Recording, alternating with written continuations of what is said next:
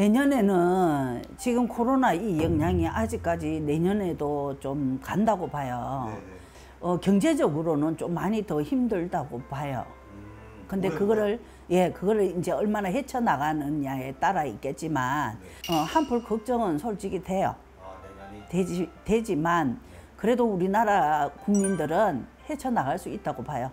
내년에 네. 좀뭐 이변이나 뭐 선생님이 쫙 뭔가 좀 오는 게뭐 없을까요? 아 이런 거 좀 내년에 큰일이 일어날 것 같다 이런 것도 없어요? 대체적으로 우리나라를 보면 또 이런 병균 때문에 또 얘를 먹는 해가 되지 않겠나라는 부분은 있어요. 코로나가 아닌 다른 코로나는 아니고 코로나는 아직까지 종식 끝까지 종식은 안 될 거예요. 왜 그러냐면 우리나라는 조금 자절어진다 싶으면 또 일어나는 부분이 되기 때문에 항상 마스크 찌시고요.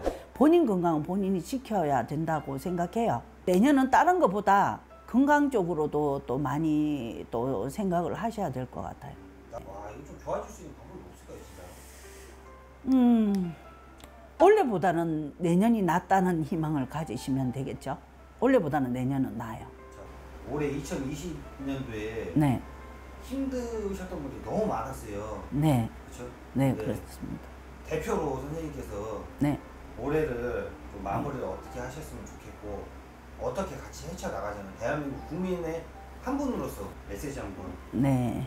어, 원래는 우리가 코로나 때문에 정말 힘든 한 해가 지금 마무리가 다 돼 가잖아요. 이제 사람을 못 만나는 것도 힘들었을 거고, 또, 아, 내가 또 코로나가 치고 들어올까, 걱정도 많으셨을 거고, 근데 건강하면 뭐든지 헤쳐나갈 수 있다라고 생각하기 때문에 우리나라 사람들은 조금 똘똘 뭉치는 경우가 있어요. 힘들 때는 또 도와주려는 희망적인 사람들도 많다고 생각합니다. 그렇기 때문에 희망 잃지 말으시고요.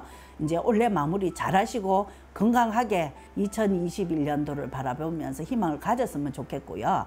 2021년도 새 시작에 또 해가 새로 뜹니다. 뜨기 때문에 이제 힘든 생활의 부분을 생각하시지 말고 이제 더 나아지겠다, 더 나아질 수 있다. 라는 긍정적인 마인드로 가신다면 분명히 2021년도 새해는 펼쳐나갈 수 있다고 생각합니다. 그리고 건강하세요.